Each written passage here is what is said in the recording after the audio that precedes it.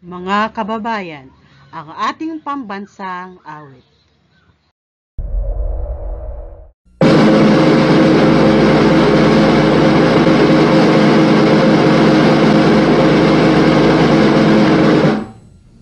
Ayang magiging